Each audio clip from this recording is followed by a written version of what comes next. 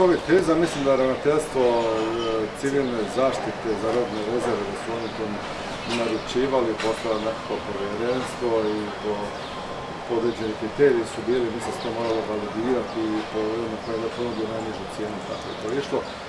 Ne sjećam se da sam nikad čuo za to čovjeka. Konkretno njegova firma se zove Kurije. Da li vam je to poznato? Ne, ne. I na, da on ima ugovore sa e, državom vezano za antigenske testove, istražuje se o, da su to zapravo krivotvoreni testovi. Ne znate li što to znači? Ne s ministarstvom zdravstva nije nema sigurno A kako, vam zvuči situacija da u Hrvatskoj ide javna nabava, naručuju se krivotvoreni antigenski testovi, hoće sad opet neko reći, e to je normalno u Hrvatskoj. Ma gledaj, I to to je- sa- i to sa znači, Moramo se podsjetiti dosje. kontekst vremena. Znači, bila je korona kriza, nije bilo, nije bilo nikakve zaštitne opreme, nije bilo tih testova. Znači, to su bili novi testovi. Očito je neko lovio u mutnom, ako je tome tako, onda neka organi eh, pravosuđa tu postupaju, njih apsolutno podržavaju.